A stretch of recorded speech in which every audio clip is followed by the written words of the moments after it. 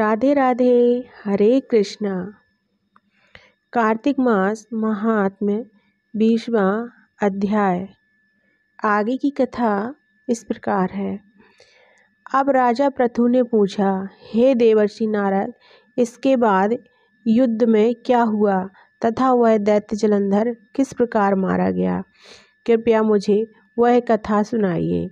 नारद जी बोले जब गिरजा वहाँ से अदृश्य हो गई और गंधर्व माया भी विलीन हो गई, तब भगवान वृषध्वज चैतन्य हो गए।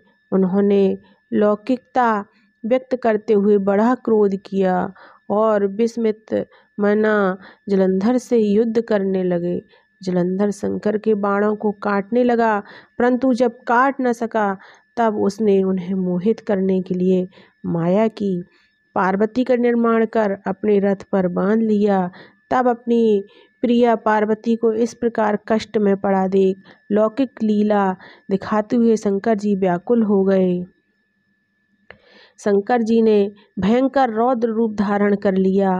अब उनके रौद्र रूप को देख कोई भी दैत्य उनके सामने खड़ा होने में समर्थ न हो सका और सब भागने छिपने लगे। यहाँ तक कि शुम्भ निशुम्भ भी समर्थ न हो सके। शिव जी ने उन शुंभ निशुम्भ को साप देकर बड़ा धिक्कारा और कहा, तुम दोनों ने मेरा बड़ा अपराध किया है।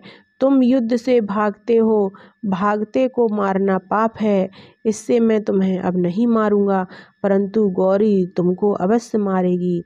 शिव जी के ऐसा कहने पर सागर पुत्र जलंधर क्रोध से अग्नि के समान प्रज्वलित हो उठा।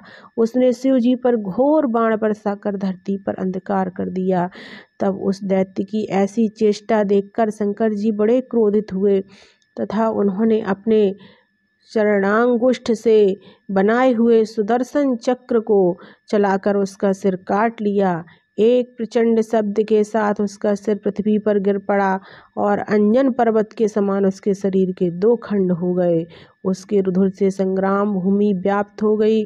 शिवाज्ञा से उसका रक्त और मांस महारौरव में जाकर रक्त का कुंड हो गया तथा उसके शरीर का तेज निकलकर शंकर जी में वैसे ही प्रवेश कर गया, जैसे वृंदा का तेज गौरी के शरीर में प्रविष्ट हुआ था।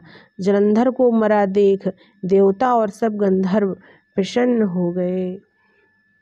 हरे कृष्णा, राधे राधे। कार्तिक मास महात्म्य, बीसवा अध्याय समाप्त हुआ।